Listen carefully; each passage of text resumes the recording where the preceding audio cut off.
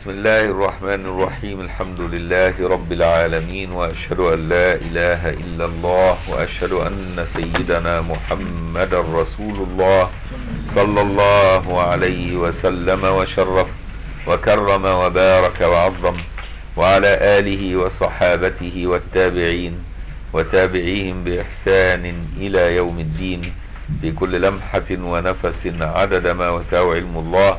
أما بعد من كتاب سنن الترمذي للإمام الحافظ الحجة أبي عيسى محمد بن عيسى ابن موسى ابن ثورة الضحاك البوغي الترمذي رحمه الله تعالى ونفعنا الله بعلومه وعلوم مشايخه وتلامذته وقراء سننه وشراحها في الدارين. آمين. الباب الثاني والأربعين بعد المئة من الكتاب الثاني كتاب الصلاة. باب ما جاء في الصلاة في الثوب الواحد. الصلاة في الثوب الواحد مكروهة إذا توفر ثوبان. أما إن لم يملك إلا ثوب واحد فلا كراهة في الصلاة في الثوب الواحد. الثوب الواحد الكراهة سبب الكراهة مخافة أن تنكشف عورته أثناء الصلاة لعدم كمال الستر. لأن كانوا زمان ليس لا يلبسون ملابس داخلية غيارات داخلية. يا دوب بيلف نفسه كده بالثوب وخلاص. فلو ثوب واحد وتحرك منه وهو بيسجد ويركع يخشى أن تظهر عورته. مش كده برضه علشان كده كان مكروه. لكن من لا يجد إلا ثوب واحد يحتاط ويتوشح به يعني يحطه على إيه؟ على عاتقيه مخالفا إياهم علشان ما يقعش منه. وفي نفس الوقت يصلي ولا ولا كراهة. لماذا؟ لأنه لا يملك غير ثوب واحد. بإسنادنا المتصل عن مشايخنا جزاهم الله عنا خير إلى الإمام الترمذي في سنن الحديث الأربعين بعد الثلاثمائة. قال حدثنا قتيبة بن سعيد قال حدثنا الليث عن هشام بن عروة عن أبيه عن عمر ابن أبي سلمة أنه رأى رسول الله صلى الله عليه وآله وسلم يصلي في بيت أم سلمة مشتملا في ثوب واحد. يبقى النبي فعله عنده ثوب تاني عمله في بيته لبيان الجواز. يبقى النبي قد يفعل المكروه. أيوة يفعل المكروه لبيان الجواز. واضح؟ قال وفي الباب عن أبي هريرة وجابر وسلمة بن الأكوع وأنس وعمر بن أبي أسيد وعبادة بن الصامت وأبي سعيد وكيسان وابن عباس وعائشة وأم هانئ وعمار بن ياسر وطلق بن علي وصامت الأنصاري رضي الله عنهم جميعا. قال أبو عيسى حديث عمر بن أبي سلمة حديث حسن صحيح والعمل على هذا عند أكثر أهل العلم من أصحاب النبي صلى الله عليه وآله وسلم ومن بعدهم من التابعين وغيرهم. قالوا لا بأس بالصلاة في الثوب الواحد. وقد قال بعض أهل العلم يصلي الرجل في ثوبين على سبيل الأكمل. يبقى ثوبين ده على سبيل الكمال والكمال زينة مطلوبة لأن الله قال خذوا زينتكم عند كل مسجد أي عند كل صلاة. واضح؟ ويبقى فعل النبي لبيان الجواز. باب ما جاء في ابتداء القبلة. وعن أبي قال حدثنا هناد قال حدثنا وكيع عن إسرائيل عن أبي إسحاق عن البراء بن عازب رضي الله عنه قال لما قدم رسول الله صلى الله عليه وآله وسلم المدينة صلى نحو بيت المقدس ستة أو سبعة عشر شهرا. وكان رسول الله صلى الله عليه وسلم يحب أن يوجه إلى الكعبة. فأنزل الله تعالى قد نرى تقلب وجهك في السماء فلنولينك قبلة ترضاها. فول وجهك شطر المسجد الحرام. فوجه نحو الكعبة. وده كان في نصف شعبان نزلت. قبل بدر. قبل بدر. بدر كانت في رمضان. يبقى إيه؟ توجه للكعبة قبل إيه؟ وقعت بدر. بدر كانت في رمضان في شعبان اللي قبليه على طول إيه توجه إلى بيت إلى الكعبة كان النبي صلى الله عليه وسلم في مكة يصلي إلى جدار الكعبة الذي بين الركنين. ففي هذه الحالة كان يبقى مستقبل القبلتين في وقت واحد. لما يصلي إلى جدار الكعبة اللي بين الركن اليماني وركن الحجر يبقى كأنه بالظبط متوجه إلى الكعبة وإلى بيت المقدس في آن واحد. فلم يظهر أن النبي كان متوجها لبيت المقدس إلا لما هاجر إلى المدينة وصارت الكعبة خلفه فتوجه إلى بيت المقدس. فظهر أنه كان يصلي إلى بيت المقدس أيضا. واضح؟ ف وكان النبي صلى الله عليه وسلم اولا أمره الله أن يصلي إلى بيت المقدس لبيان أنه هو والأنبياء السابقين من بني إسرائيل كل على دين واحد. وأنه ما هو إلا امتداد لدعوة الله من لدن آدم. حتى لا يظن علماء اليهود أنه جاء بدين مخالف لأديان السابقين بل الدين عند الله الإسلام. ثم بعد ذلك لما تعنتوا وبالرغم أنهم علموا كل العلامات فيه إلا أنهم لم يريدوا الإيمان به فسقطت حكمة التوجه إلى بيت المقدس وعدنا إلى القبلة الأصلية قبلة أبينا إبراهيم الذي كان لم يكن يهوديا ولا نصرانيا. فهي القبلة الأصلية. واضح؟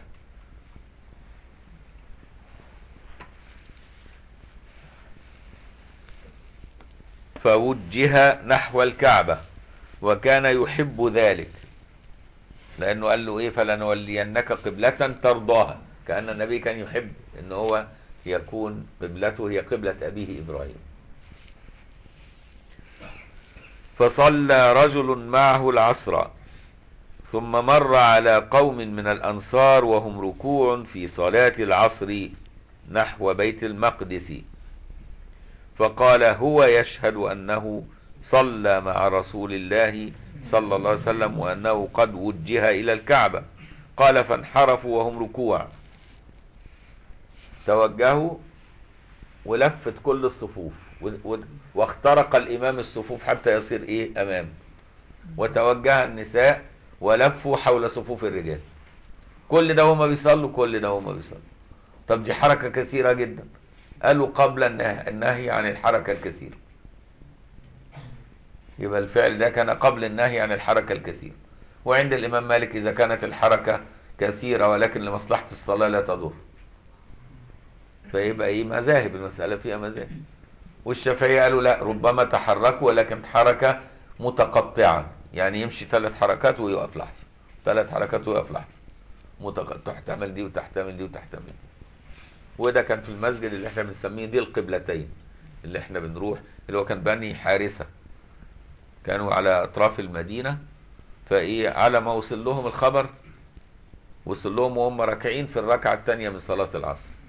فإيه فقال لهم وهو على الباب اللي صلى مع النبي صلى الله عليه وسلم يقال انه صلى صلاة الظهر مع النبي صلى الله عليه وسلم. وبعدين لما راح عشان يصلي معهم العصر لقاهم بيصلوا العصر. ويقال إنه صلى العصر وأدركهم أيضا في العصر. هناك لأنهم كانوا أخروا العصر قليلا عن النبي صلى الله عليه وسلم. تحتمل المعاني دي كلها. فقال لهم أنه يشهد أنه صلى مع النبي فأخذوا بخبر الواحد. وهذا يدل على إيه؟ على حجية خبر الواحد. طالما إذا كان ثقة يبقى خبر الواحد حجة. يعمل به في الأحكام. مش تيجي تقول لي أصل الحديث ده جاء من طريق واحد. طالما صحيح ناخد بيه في الأحكام. الصحابة ده منهج الصحابة. ما رضوش يكملوا الصلاة وبعدين يقولوا له احلف. طب ونبعت واحد تاني عشان يبقى اتنين يشهدوا. ما عملوش كده. لو هم سمعوا صوته وعارفين إن هو رجل ثقة فتغيرت الجهة وهم جوه الصلاة. فهذا أكبر دليل على حجية خبر الواحد. والدليل الثاني على حجية خبر الواحد رؤية الهلال في رمضان. لو واحد ثقة يشوف الهلال ويقول أنا شفت الهلال نبدأ الصيام أو ننهي الصيام. يبقى إيه؟ وقضية حجية خبر الواحد كانت مناقشة بين العلماء في عصر التابعين وتابع التابعين. وحسمها الإمام الشافعي في الرسالة وفي الأم وفي غيره. قال فانحرفوا وهم ركوع. قال وفي الباب عن ابن عمر وابن عباس وعمارة بن أوس وعمرو بن عوف المزني وأنس. قال أبو عيسى وحديث البراء حديث حسن صحيح. وقد رواه سفيان الثوري عن أبي إسحاق. وعن أبي قال حدثنا هناد قال حدثنا وكيع عن سفيان عن عبد الله بن دينار عن ابن عمر رضي الله عنهما قال كانوا ركوعا في صلاة الصبح. قال أبو عيسى وحديث ابن عمر حديث صحيح. آه كانوا ركوعا في صلاة الصبح في قباء لأن قباء أبعد من مسجد ذي القبلتين. فعلى ما وصل لهم الخبر وصل لهم في صلاة الصبح. فهمت؟ فده صح وده صح. يعني بتوع قباء صلوا العصر وصلوا المغرب وصلوا العشاء إلى بيت المقدس برضه. وكان النبي إيه؟ غير القبلة. بس على ما وصل لهم الخبر وصل لهم هم راكعين في صلاة الصبح. فهمت بقى؟ لكن مسجد ذي القبلتين وصل لهم هم في صلاة العصر. فما فيش تناقض. لأن المسافات بتبقى بعيدة وما كانش لا فيه موبايلات ولا في تلفزيون ولا في أخبار ولا في وسائل اتصال عن بعد. فكانت توصل الخبر متأخر. توصل الأخبار متأخر. فاهم ادي الحكاية. بسبب طبيعة عصر. إنما الوقت الخبر بيتعرض قبل ما تحصل الحدث. حاجة؟ سبحان الله. يعني ممكن يعرض الحلم اللي انت هتشوفه في المنام إن شاء الله بكرة. من سرعة إيه الأحداث. سرعة الأحداث بقت سريعة. فربنا ينجينا لدرجة إن الناس مش قادرة تواكب سرعة الأحداث. فربنا ينجينا. باب ما جاء أن ما بين المشرق والمغرب قبلة. طبعا لكل إيه من كانت قبلته إلى الجنوب أو إلى الشمال فيبقى ما بين المشرق والمغرب قبلة. يعني لو قبلتنا إحنا مكة شمالنا هيبقى ما بين الم- المشرق والمغرب قبلة. طب ولو مكة جنوبنا هيبقى ما بين المشرق والمغرب قبلة. كده برضو؟ يبقى ده على حسب. علشان كده ما بين المشرق والمغرب قبلة لأهل المدينة لأن أهل المدينة القبلة بالنسبة لهم جنوبهم. يبقى يجعل المغرب على يمينه والمشرق على يساره يبقى متوجه كده للقبلة. فهمت بقى المسألة؟ يعني يمتد الصف مهما يمتد تفضل قبلة فهمت إزاي؟ ما بين. مش تيجي تدوره تلفه. فهمت إزاي؟ لما يمتد بعد كيلو مثلا تحرفه. وبعد اتنين كيلو تخليه منحرف؟ لا. خليه ما بين المشرق والمغرب قبلة كده على طول. يقول طب ما هو لما يطول الصف قوي هيبقى المفروض ينحرف قليلا. أيوه ما دام المعفوات. دي أمور يعفو عنها الشرع. خلاص سهل. أنت مش متوجه يعني الطيارة يعني. يقول لك إيه؟ فولوا وجهكم شطرة يعني جهته فاهم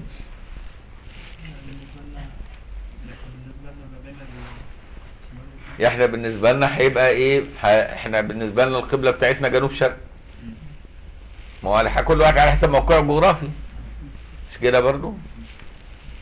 المصريين جنوب شرق. تنزل شوية قرب الصعيد وفي السودان تلاقيها شرق على طول. وهكذا. بتختلف على حسب موقعك الجغرافي. وخط العرض والحاجات دي. وعن ابي قال حدثنا محمد بن أبي معشر قال حدثنا أبي عن محمد بن عمرو عن أبي سلمة عن أبي هريرة رضي الله عنه قال قال رسول الله صلى الله عليه وآله وسلم ما بين المشرق والمغرب قبلة. وعن ابي قال حدثنا يحيى بن موسى قال حدثنا محمد بن أبي معشر مثله. قال أبو عيسى حديث أبي هريرة قد روي عنه من غير وجه من غير هذا الوجه. وقد تكلم بعض أهل العلم في أبي معشر من قبل حفظه واسمه نجيح مولى بني هاشم. قال محمد لا أروي عنه شيئا. وقد رو- روى عنه الناس. قال محمد وحديث عبد الله بن جعفر المخرمي عن عثمان بن محمد الأخنسي عن سعيد المقبوري عن أبي هريرة أقوى من حديث أبي معشر وأصح. وعن أبي قال يبقى ينقض الحديث ويضعفه ويستدل بيه فهمت إزاي؟ هو علماء اهو يعني مش بيستدل بيه عشان مش عارف إنه ضعيف لا ده عارف إنه ضعيف. فهمت؟ دي نقطة مهمة. يبقى ليس كل ضعيف لا يحتج به. بل في مذهب الإمام أحمد بن حنبل كان يقدم الحديث الضعيف على القياس. يعني لو المسألة فيها حديث ضعيف يقدمه على القياس. وكذا المذهب الإمام أبو حنيفة. خلافا للشافعي. الشافعي يقدم القياس على الحديث الضعيف. يبقى المسألة فيها خلاف والأمر واسع. مش زي ما عملوا لنا الألباني والجماعة اللي مشوا وراه سلفية العصر إن الحديث الضعيف معناه ليس بحجة مطلقا في أي مجال. ما ينفعش كده. درجة إن هم ضعفوا السيرة النبوية كلها. كل السيرة النبوية يقول لك ما تقراهاش. ليه يا ابني؟ يقول لك أصلها حديث ضعيف. شيء غريب الشكل. طب هي السيرة أحكام؟ السيرة تاريخ. والتاريخ يقبل فيه الخبر إذا شاع دون النظر إلى الإسناد فمسألة السيرة تختلف عن مسألة الأحكام وتوثيق الخبر في الأحكام علشان كده لخبطوا الناس لخبطوا الناس بكل أسف لأنهم ده يدلك على إيه؟ على أنهم لا قروا الترمذي ولا قروا كتب السنة ولا قروا حاجة وفي الآخر يقول لك إحنا علماء سنة سنة إيه؟ سنة إيه يا أستاذ؟ أني سنة؟ سنة الألباني مش سنة النبي فهمت إزاي؟ سنة الألباني هو اللي هو قال لك حكاية حديث الضعيف ده ليس بحجة مطلقا كده. لا دي حكاية مناقشة فيها مناقشات كبيرة. لأن الحديث الضعيف مش معناه ليس حديثا. فهمت إزاي؟ في فرق بين حديث ضعيف وليس حديثا. فهمت إزاي؟ الحديث الضعيف ضعيف من حيث الثبوت لكن ربما يكون رواه النبي في احتمال إن النبي قال لكن من حيث الثبوت بس اللي ضعيف. فننظر هل يوافق أصح منه؟ هل يحقق مقاصد الشرع؟ هل وهل وهل؟ في أي مجال هو؟ هل هناك طرق أخرى تقويه وتعضده يبقى دي مسألة بحث وعلم بقى. مش مسألة كده كلمة ارميها على عوانة وامشي. فهمت؟ وعن أبي قال حدثنا الحسن بن بكر المروزي قال حدثنا المعلى بن منصور قال حدثنا عبد الله بن جعفر المخرمي عن عثمان بن محمد الأخنسي عن سعيد المقبوري عن أبي هريرة رضي الله عنه عن النبي صلى الله عليه وآله وسلم قال ما بين المشرق والمغرب قبلة. والكلام ده موجه لمين؟ لأهل مدينة. ومن كان على شكلتهم في نفس خطهم الجغرافي فهمت إزاي قال أبو عيسى هذا حديث حسن صحيح وإنما قيل عبد الله بن جعفر المخرمي لأنه من ولد المسور ابن مخرمة. وقد روي عن غير واحد من أصحاب النبي صلى الله عليه وسلم ما بين المشرق والمغرب قبلة منهم عمر بن الخطاب وعلي بن أبي طالب وابن عباس وقال ابن عمر إذا جعلت المغرب عن يمينك والمشرق عن يسارك فما بينهما قبلة. عشان كده في الحالة دي هتبقى متوجه إيه؟ إلى الجنوب. لما تخلي المغرب عن يمينك والمشرق عن يسارك تبقى وجهتك إيه؟ إلى الجنوب. وكانت مكة جنوب المدينة. يبقى بيتكلموا للناس اللي قاعدين في المدينة. الكلام ده قاله سيدنا عبد الله بن عمر عمر ليه؟ لأن لما امتد مسجد النبي في اتجاه الايه؟ المغرب, في اتجاه الغرب وفي اتجاه الشرق قال سيدنا عبد الله بن سيدنا عمر بن الخطاب هو مسجد رسول الله ولو امتد إلى صنعاء اليمن. يعني لو امتد الخط كده لحد صنعاء اليمن زي هو هو خط واحد. فهمت بقى؟ لأن لما وسعوا المسجد كثير من الصحابة كانت تتزاحم في المسجد القديم ومش عايزة تصلي في التوسعة. سيدنا عمر قال لهم ليه ليه بتعملوا كده؟ والإمام النووي العجيب إنه رجح إنك أنت تحاول تحتاط إنك تصلي في حدود المسجد القديم الآمن. فانا مش موافق الإمام النووي في المسألة. وإلا الناس هتصلي فوق بعضها بقى. مش هينفع ده بيحضر مليون. هتجيبهم إزاي؟ تركبهم فوق بعضهم؟ طبقات مش هتنفع. وبالتالي المجاور يأخذ حسن المجاورة بالمجاورة. المجاورة تؤدي انسحاب الحكم. فيبقى التضعيف مستمر في مسجد النبي مهما اتسع. تصلي في أي موقع. هو ده مسجد النبي خلاص. امتدت الصفوف وانتهت. فهمت؟ ولا تضيق على نفسك. ولا تنظر لترجيح الإمام النووي في كتابه المناسك. وقال يسن لمن يحج ويزور المدينة أن يتحرى أن يصلي في حدود المسجد القديم. طب ما انت كده لو انتشر ده بين المسلمين إن شاء الله هيركبوا فوق بعضهم. فما ينفعش. فهمت إزاي؟ ما نمشي على على فتوى سيدنا عبد الله بن سيدنا عمر بن الخطاب أولى من ترجيح النووي. مش كده برضو؟ ال- قال لك لو امتد إلى صنعاء اليمن كله مسجد النبي. طالما امتدت الصفوف خدت نفس الحكم. كلنا بنصلي خلف إمام واحد في مسجد واحد. فهمت إزاي؟ ولو خرج عن حدود المدينة نفسها. واخد بالك؟ والأمر واسع وربنا رحمته واسعه ولا نضيق على نفسنا ولا على المسلمين. وقال ابن عمر إذا جعلت المغرب عن يمينك والمشرق عن يسارك فما بينهما قبلة. إذا استقبلت القبلة. وقال ابن المبارك ما بين المشرق والمغرب قبلة عند هذا لأهل المشرق واختار عبد الله بن المبارك التياسر لأهل مرو كل واحد يعني على حسب موقعه الجغرافي بقى. فهمت إزاي؟ يبقى كل بلد على حسب موقعها الجغرافي. شوف خطوط العرض إيه وخطوط الطول إيه و- ومكة بالنسبة لك اتجاهها إيه. إحنا مثلا في مصر بننحرف إيه جنوب شرق شوية. لأن مصر شوية شمال مكة. شرق مكة وشمالها. فهمت إزاي؟ نعتبر إيه في في غرب مكة في غرب مكة و- وشمالها وبالتالي لازم إحنا نتوجه لمكة نبقى جنوب شرق. وهكذا يبقى كل بلد يشوف نفسه على حسب موقعه الجغرافي. باب ما جاء في الرجل يصلي لغير القبلة في الغيم. افرض إنك أنت في غيم وكنت في سفر واجتهدت على اتجاه القبلة فصليت. فلما زال الغيم وانتهت الصلاة اكتشفت إن كان اجتهادك خطأ وكانت القبلة في اتجاه تاني.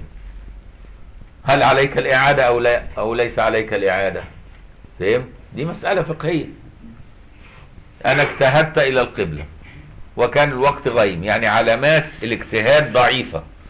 الوقت غيم يعني إيه؟ يعني علامات اجتهاد القبلة ضعيفة. واضح؟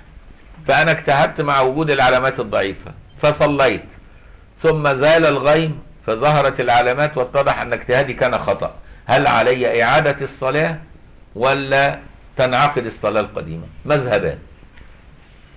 ذهب الحنابلة والأحناف إلى عدم الإعادة سواء كنت في الوقت أو خارج الوقت لأنك صليت باجتهاد صحيح. واضح؟ على اعتبار فأينما تولوا فثم وجه الله. خلاص وذهب الشافعية ومن وافقهم إلى الإعادة سواء في الوقت أو خارج الوقت. ومذهب ثالث قال لك تعيد لو كنت في الوقت ولا تعيد لو خرج الوقت. يبقى عندنا ثلاث مذاهب فهمت في المسألة. مذهب الأحناف والحنابلة ما تعيدش سواء كنت في الوقت أو خارج الوقت طالما كان باجتهاد صحيح. ومذهب الشافعية تعيد سواء في الوقت أو خارج الوقت طالما بان لك الخطأ.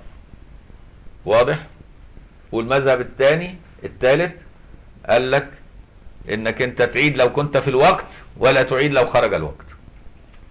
فهمت بقى المسألة؟ نقرأ بقى إيه الحديث ونشوف.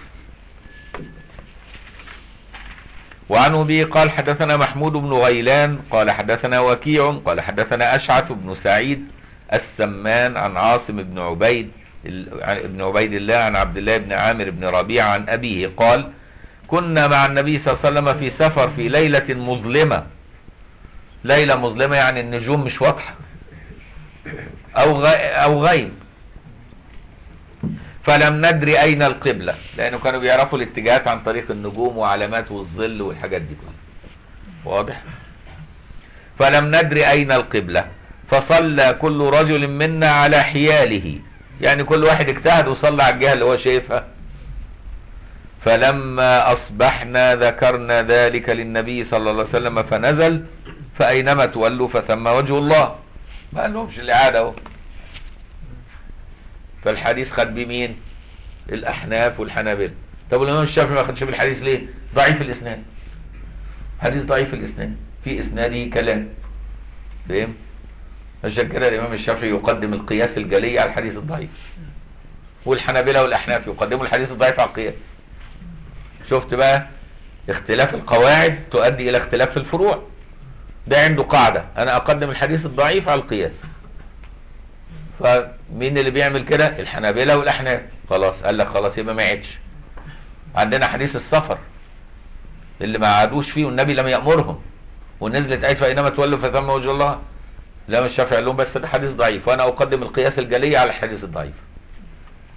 لأن القياس مبني على حديث صحيح. خبر صحيح فهو صحيح. وأنا لا أترك الصحيح إلى ضعيف أبدا مذهب الإمام الشافعي كده. فهمت بقى؟ تبقى المسألة مذاهب وآراء مختلفة. قال أبو عيسى هذا حديث ليس إسناده بذاك. الله شوف عارف أهو. ده الإمام الترمذي عارف أكتر من الألباني. فهمت إزاي؟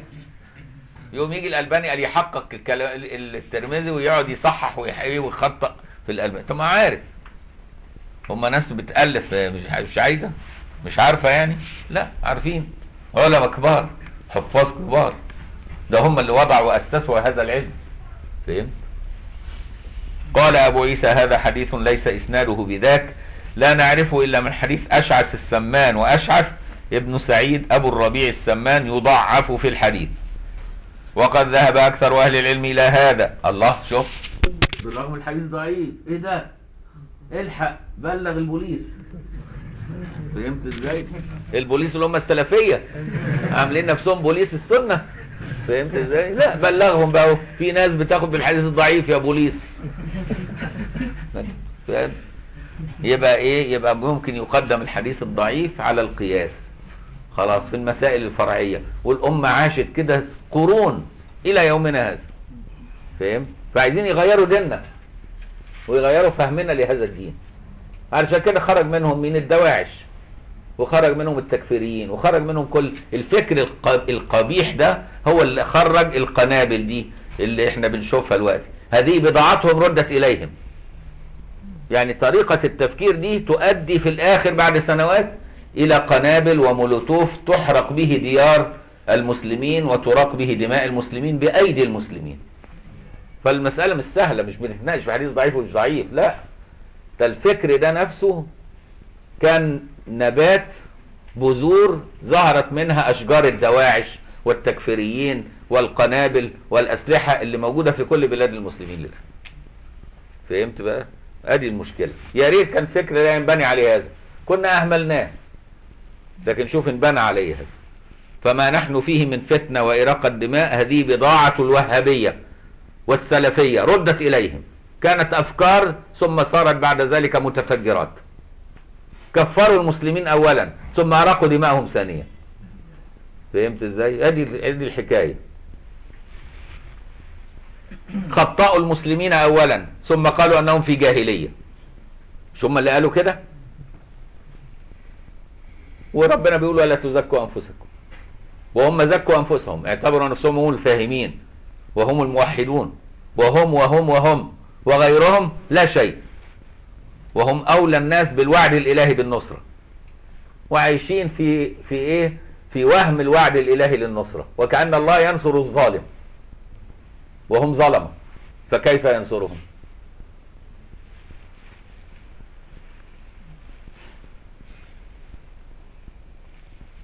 هذا حديث ليس إسناده بذاك لا نعرفه إلا من حديث أشعث السمان وأشعث ابن سعيد أبو الربيع السمان يضعف في الحديث. وقد ذهب أكثر أهل العلم إلى هذا أهو كلامه فهم الكلام ده يمنع خروج الدواعش. شوف ببساطة كده فهمت الأول تربي العقلية بهذه الطريقة. يوم ما يطلعش بعد كده يبقى إنسان يفجر نفسه في وسط المسلمين. ابدا عمره اللي اتربى على هذه العقلية. يبقى رحمة بالعالمين طول ما هو قاعد كده رحمة ومتواضع. قالوا إذا صلى في الغيم لغير القبلة ثم استبان له بعدما صلى أنه صلى لغير القبلة فإن صلاته جائزة. وبه يقول سفيان الثوري وابن المبارك وأحمد وإسحاق وحط أبو حنيفة معاه كمان. وخرج الشافعي ومالك الشافعي يقول لك لا يعيد ليه؟ أصله ده حديث ضعيف. أنا رأيي أن الحديث الضعيف أن القياس الصحيح المبني على أصل صحيح أقوى من الحديث الضعيف. خلاص ما يجراش حاجة يا شافعي. حاضر. ما جراش حاجة برضه يا أبو حنيفة. حاضر. والحكاية سهلة. يبقى اتنين إخوات واحد يقوم يعيد صلاته والتاني ما يعيدش والاتنين يفضلوا إخوات. مفيش بقى بدعه ضلاله في النار والأخ يقتل أخوه. فهمت إزاي؟ يقول له اصل ده بياخد الأحاديث الضعيفة. طب نعمل فيه إيه؟ اقتله. تقتله؟ شيء عجيب الشكل. باب ما جاء في كراهية ما يصلى إليه وفيه. غدا إن شاء الله. اللهم علمنا ما ينفعنا وانفعنا بما علمتنا وزدنا علما. إن الله وملائكته يصلون على النبي. يا أيها الذين آمنوا صلوا عليه وسلموا تسليما. اللهم صل على سيدنا محمد عبدك ورسولك النبي الأمي وعلى آله وسلم. اللهم صل على سيدنا محمد عبدك ورسولك النبي الأمي وعلى آله وسلم. اللهم صل على سيدنا محمد عبدك ورسولك النبي الأمي وعلى آله وسلم. عدد خلقك ورضا نفسك وزنة عرشك ومداد كلماتك وكما تحب وترضى. سبحان ربك رب العزة عما يصفون. وسلام على المرسلين والحمد لله رب العالمين.